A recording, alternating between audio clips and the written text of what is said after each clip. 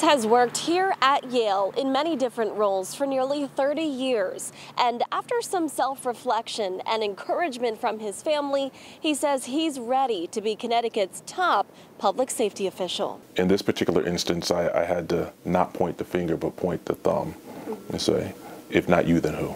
When Ronnell Higgins first got the call from the governor about becoming the next commissioner of the state's top public safety department, he had doubts. Then his wife and kids reminded him what he's made of. She just kept looking at me because she knows me. And she knows my heart and she knows that I desire to help that desire came early for Higgins, watching his dad serve on the New Haven police force for 27 years, wanting to follow in his footsteps.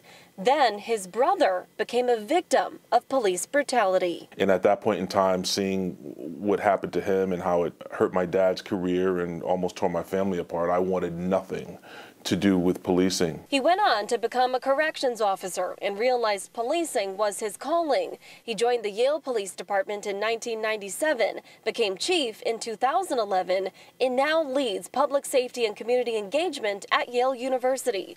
All experiences he's taking into his new role, one he holds in high regard. The troopers are some of the most skillful in this country. We're going to be okay.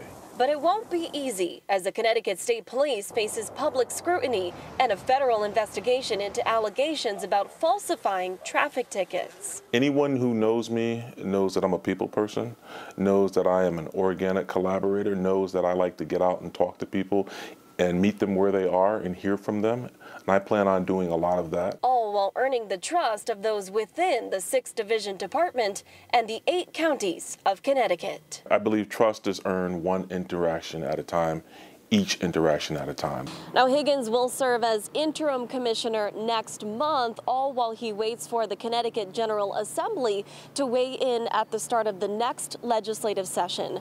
We are outside of the Yale Police Department. Julia LeBlanc, Fox 61, Connecticut's news station.